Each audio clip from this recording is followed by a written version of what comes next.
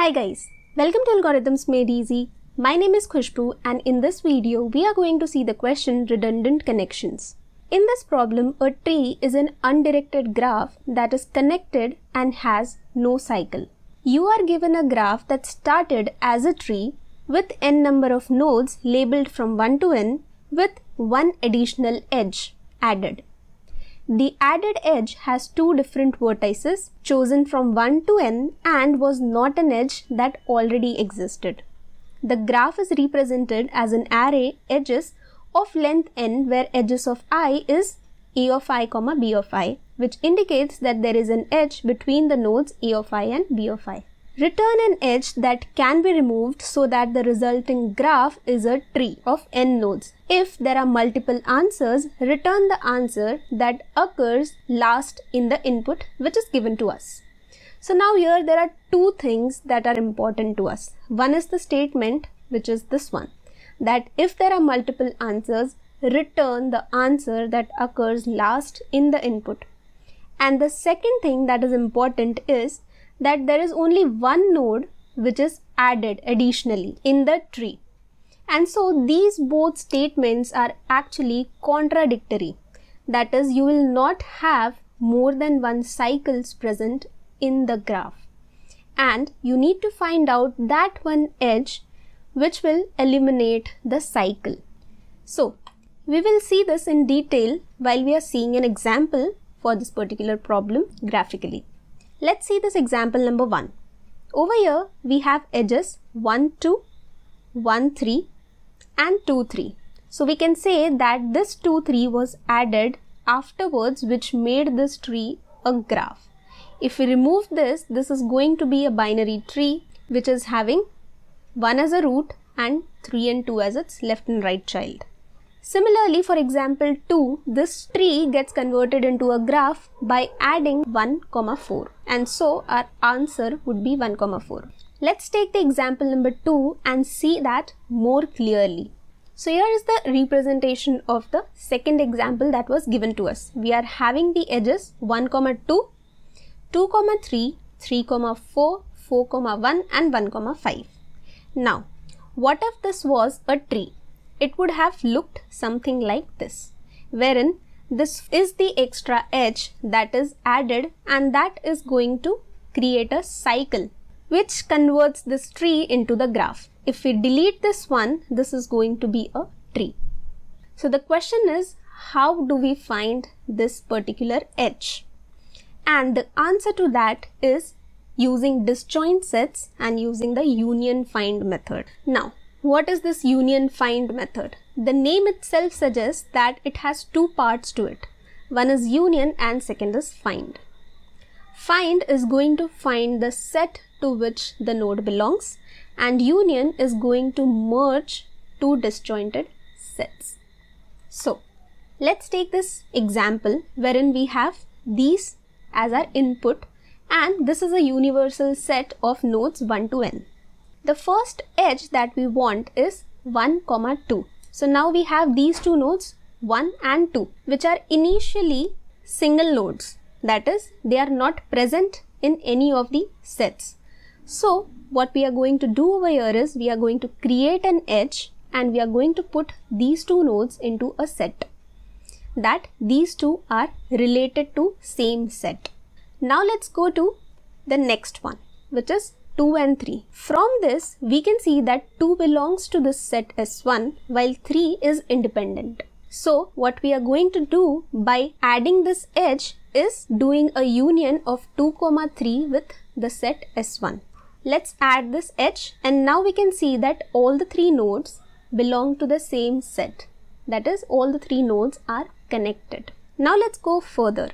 Again with 3 and 4 we see that 3 is already present in my set 1 and if I want to make an edge of 3 with 4 that was a single node or an independent node I'll have to put this 4 in this particular set by attaching it with 3. So now all these 4 nodes are connected and so are present in this particular set. Now comes the interesting part. What happens when we have 1 comma 4? If I want to add an edge for 1 comma 4, I'll first see whether these belong to different sets or not. But over here, both of these nodes are present in set 1. So, if I'm going to attach an edge in that, it will definitely create a cycle which we do not want. And so, that is our answer which means 1 comma 4 is the edge that was added which made the tree convert to a graph by forming a cycle. Now, the part attached with the question. If there are multiple answers, return the answer that occurs last in the input. And as I said earlier that it is a contradictory statement to the one mentioned in the question itself that there is only one edge added that means there can only be one cycle. And so both of these statements are contradictory and would not happen in this question.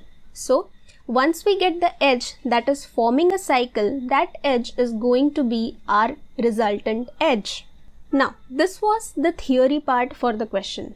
Now, how do we actually implement a union find method?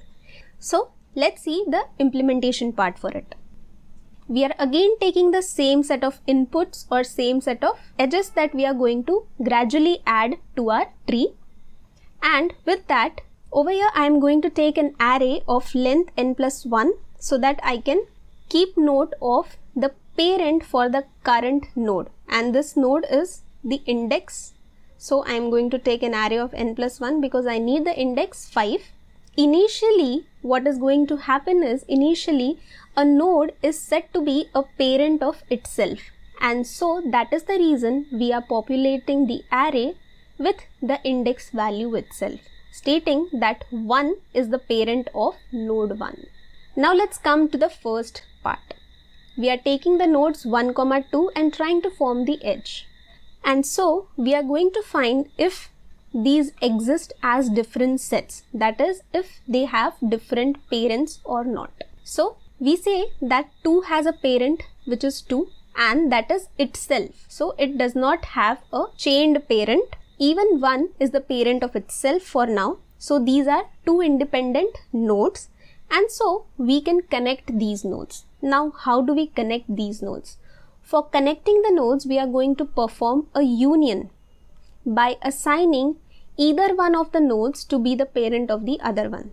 So over here I am taking 1 as a parent of 2 and so I'll update the parent of this node 2 that is represented by the index to be 1. So what is effectively happening over here is we are adding both these nodes in the same set. Let's move on to the another node. Now over here what we have is node 2 and node 3. The parent of node 2 is 1 and the parent of node 1 is 1.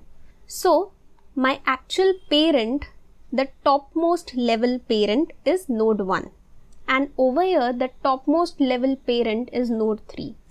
How do you find the topmost parent is you need to find the parent till you do not get the node itself as its parent. So over here I see 1 is the parent of node 2 and if I go to the node 1 1 is the parent of node 1 that is it is its own parent. That is it does not have any other parent.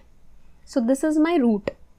And over here for 3 I am having 3 as a parent of 3 which means here itself it is the root node. And both these roots are different so we can actually go and combine them by performing a union.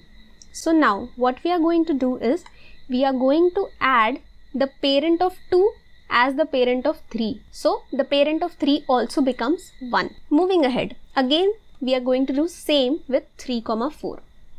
The parent of 3 is 1 and the parent of 1 is 1. So my actual parent over here for node 3 becomes 1 and the actual parent for node 4 becomes 4 because it does not have any parent it is the parent of itself. So since these two have different parents, these sets can be combined. And these sets can be combined means we can add an edge which will not result into a cycle. So we are going to do a union and we'll assign the parent of 4 also as the topmost parent which was 1. Now let's go to the next node. If you see over here the parent of node 1 is 1 and the parent of node 4 is 1 for which the parent of node 1 is 1 also. So over here we are getting 1 as the parent. That means these both belong to the same set and combining these two will form a cycle. So indeed this was the edge that was added afterwards to the tree so that it got converted into a graph that has a cycle. So if we are going to remove this node, we'll get a tree representation for the graph that is given to us. So this was about the implementation process. Now let's go ahead and code it out. We'll have two methods union find and we'll have a parent data. Let's take a parent and this parent array will be of size edges plus 1. And initially we want to make each node the parent of itself. So we'll take a for loop and we'll mark itself as the parent of the node. Now we need two methods that is union and find. Let's write the find method first and this find method is going to return the parent of the node. So we are going to find the parent of node in the find method.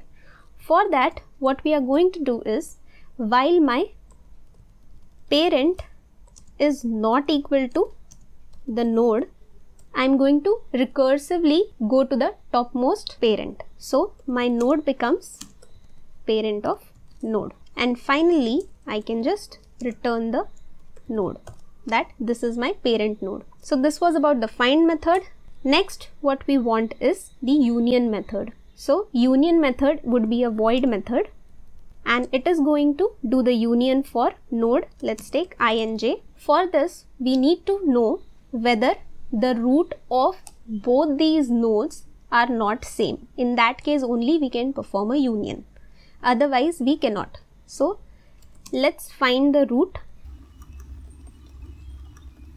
now this will give me the root and if the i root is not equal to j root I am going to put the parent of j root as i root. Now, why am I taking this as j root and not j? Because it's possible that this particular j is present in another set which has a different root. So I need to take the root and combine it with the set in which I belongs. So instead of taking j, I'll take j root and otherwise we are going to do nothing but return. Now let's come into our main method and over here we'll loop on all the edges and try to add them. So we'll go for this part. Before adding the edge, we need to find whether these nodes are in different set or not.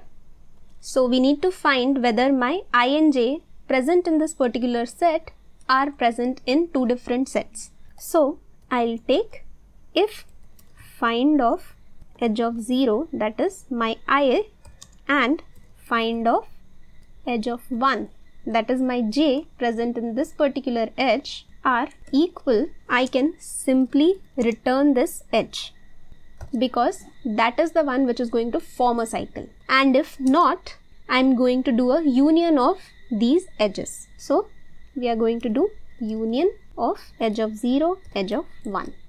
And finally, just to handle the return statement, we'll return null over here and we are done. Let's try to run this code and there is a spelling mistake let's run it again and it's giving a perfect result let's submit this and it got submitted the time complexity for this particular approach would be o of n. Now you will say that i have taken a while loop which is going recursively trying to find the parent. But this while loop will run at most twice because in the second time we'll get the root parent for that particular node. Secondly, we are running this for number of edges that are present and we are running this for n plus 1 number of times. So effectively the time complexity becomes O of 2n or you can say O of n. And the space complexity is to store this parent array which is also O of n plus 1 which is n. So that's how we calculated the time and space complexity for this question and that's all. I hope you like the video and I'll see you in another one. So till then, keep learning, keep coding.